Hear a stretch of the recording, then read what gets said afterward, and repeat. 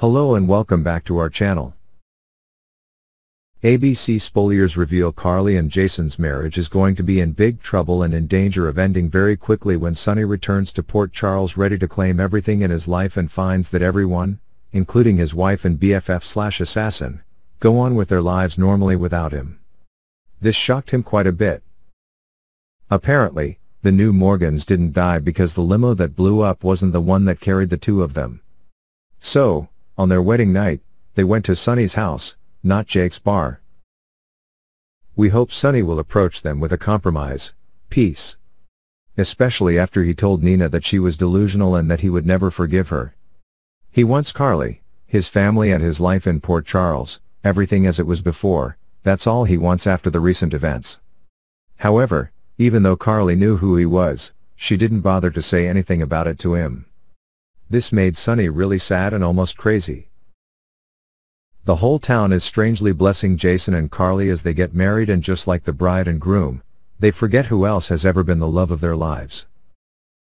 As a side note about this incident, in a recent interview on Soap Digest, actor Maurice Benard, who plays Sonny, shared that this is a great scene. The game had actually started, Sonny didn't know that Carly and Jason had to get married and didn't know they were going to be making out and stuff. He think the audience will enjoy this scene very much, and will have interesting analysis about it. He's also excited to see the scene again when it's released and looks forward to the audience's reaction. However, he also warned us not to expect any absolute surprises when Sonny's comeback. Given Johnny's personality, it's really hard to predict what he'll do to regain the glory of the past. However, it will certainly be worth looking forward to.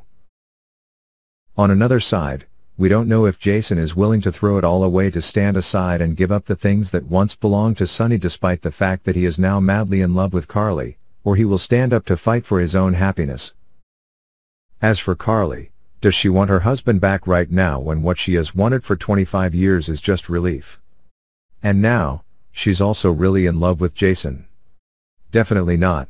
This is confirmed when we see her cold attitude towards Johnny.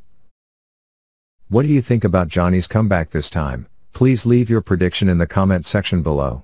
We will continuously update the latest information of ABC as soon as possible. See you in the next videos. Thanks for watching, bye and see you again.